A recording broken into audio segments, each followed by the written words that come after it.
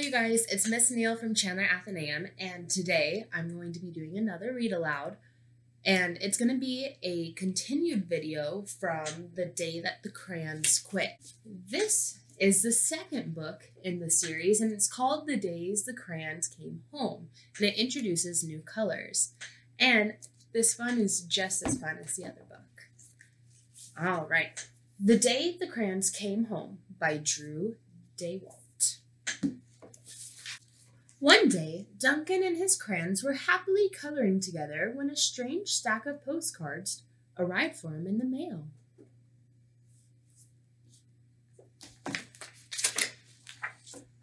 Dear Duncan, not sure if you remember me. My name is Maroon Crayon. You only colored with me once to draw a scab. Whatever. Anyway, you lost me two years ago in the couch. Then your dad sat on me and broke me in half. I would never have survived had Paperclip not nursed me back to health. I'm finally better, so come and get me. And can Paperclip come too? He's really holding me together. Sincerely, your marooned crayon, maroon crayon. And then there's the paperclip holding them together. Dear Duncan, no one likes peas. No one even likes the color. Pea green. So I'm changing my name and running away to see the world. Sincerely, Esteban the Magnificent. Formerly known as Pea Green. Hi, Duncan. It's me, Neon Red Crayon. Remember that great vacation we had with your family? Remember how we laughed and when we drew a picture of your dad's sunburn? Remember dropping me by the hotel pool when you left? Clearly you do not because I'm still here. How could you miss me? Anyways, after eight months waiting for you to come back and come and get me, I guess I'm walking back. Your left behind friend, Neon Red Crayon.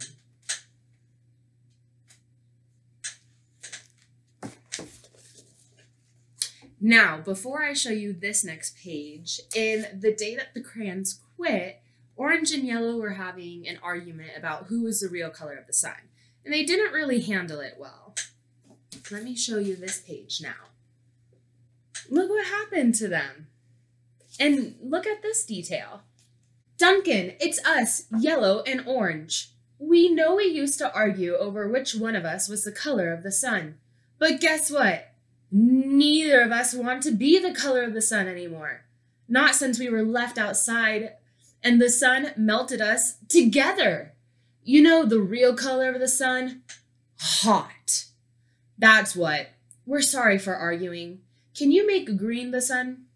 Just please bring us home. You're not so sunny friends. Yellow and orange.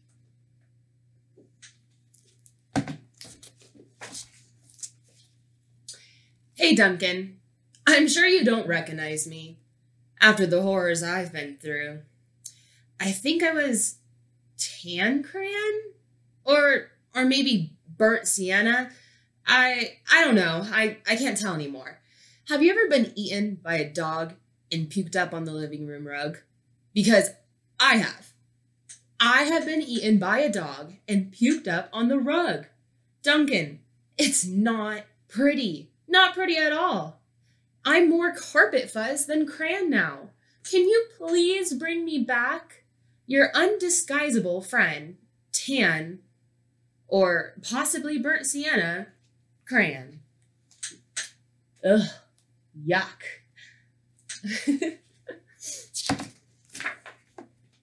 Here's pea green again. Dear Duncan, um, could you please open the front door? I still need to see the world. Sincerely, Esteban the Magnificent. Oh, and there's a picture. And he has like a little cute bag with them. This is a really cool page. I wish I was able to show you guys what this looks like in the dark, but it's a glow-in-the-dark crayon. Hey, Duncan. Remember last Halloween, we told your little brother there was a ghost under the basement stairs? Then we drew that scary stuff on the wall. It was sure funny when he ran screaming, right? But it wasn't so funny when you forgot to take me out of the basement. Please come get me. I'm kind of terribly horrified. Your scared friend, glow in the dark crayon.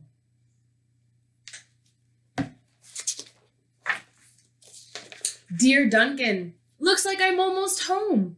Been through China, Canada, and France. I think.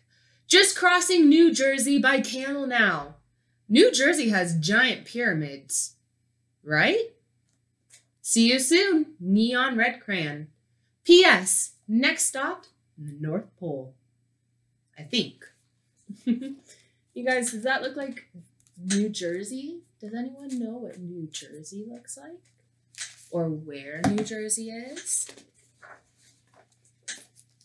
So this one's a little funny. This one's my favorite page. Duncan, does page 8 of Pirate Island ring a bell? Kind of a big payday for Captain Greenbeard there, don't you think? And no bronze or silver in that pile, huh? I told you it'd make me blunt if you'd color each coin individually. But would you listen? No. I also told you those crayon sharpeners never work. Did you listen to that? Also, no. No, I can't color anything at all. Your pointless friend, Gold Crayon. Now, if Gold Crayon was pointless, he had his pencil, his pencil friend, help him write it.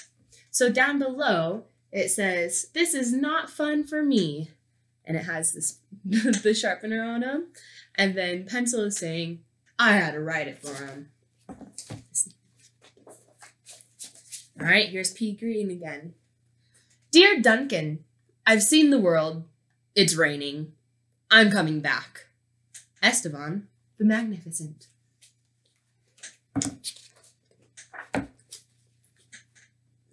Hi, Duncan. You're probably wondering why my head is stuck to your sock. A question I ask myself every day. Well, it's because last week you left me in your pocket and I ended up in the dryer. I landed on your sock and now he's stuck to my head. Could you please come get me? Also, why does everything you wear still smell even after it's washed? Your stinky, socky, stucky on head buddy, turquoise crayon. P.S. Sock says hi. And then on this picture, he says, Toma said hi.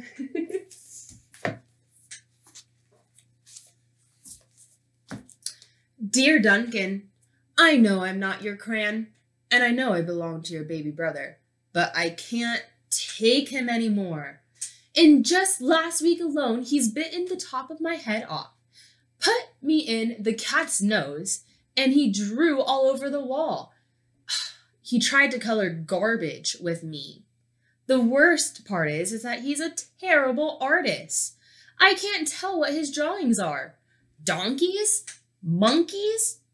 Donkey monkeys? Picasso said every child is an artist, but I don't know. I don't think he met your brother.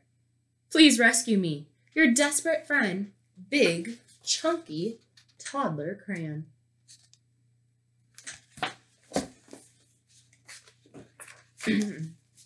Duncan, greetings from the Amazon rainforest. Making great time.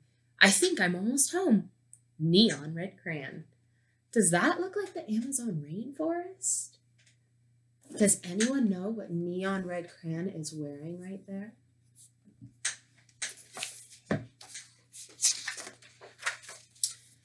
Hello, Duncan. It's me, Brown Crayon. You know exactly why I ran away, buddy. Everyone thinks I get all the great coloring jobs candy bars, puppies, ponies. Lucky me, right? But they don't know what else you use me to color, do they? I didn't think so. The rest of that drawing was great, but did it really need that final brown scribble? I'll come back, but please, let's stick to candy bars, okay? Your very embarrassed friend, Brown crayon.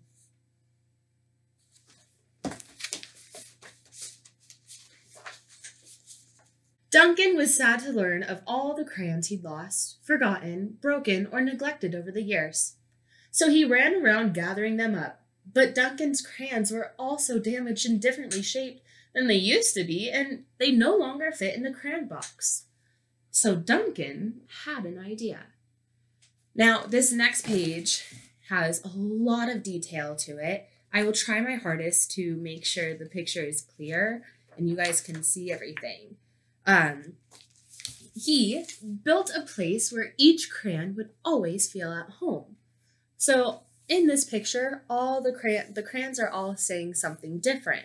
And to their notes, they said something that they needed or what they wanted, and he made a home for them. So over here is the hairy, gross dog throw up crayon that says, There's no dogs down there, are there? And then here is our beige friend from last book. Nope, no turkeys either. And then here's our brown crayon that says, Oh, you flatter me, but it's not real chocolate. Because right here is a chocolate bar that was drawn onto the house. Here's white again. I know that may be a little tough to see. And he said, Let's have a party the little the toddler crayon is saying this one is from my blue period and then the pink one says but it's not really blue it's more lilac which is this purple color and then here is the orange and yellow crayon this door has both of them drawn on it and they're saying i think that door is for us the pencil is saying, Ah, there you are. I could use a haircut. And here comes Gold Crayon. Hope there isn't a metal detector. Talking about the house. Maroon Crayon is saying, No, I think everyone is welcome. Gray is saying, Looks good. Over here is our Ooh, that's a little tough to see, I'm sorry, but that was our crayon that no longer had his paper on him. Ended up finding some underwear, thank goodness, and he says, What are you wearing to the turquoise crayon? He says, Oh, I think he goes by Ted. And then the sock replies, I'm 10. I'm going to put this up really close so you guys can really see all that. Again, these two books are some of my favorite to read out loud because you get to act it out, you get to be silly, you get to make fun facial expressions. And then here is our last page with pea green and our hot red friend. And it says, and then I'm in Cleveland. I got to hike the Great Wall of China. Is the Great Wall of China in Cleveland? My goodness. Well, I hope you guys enjoyed these books. These are my absolute favorite, and I hope to see you guys soon. Have a great day.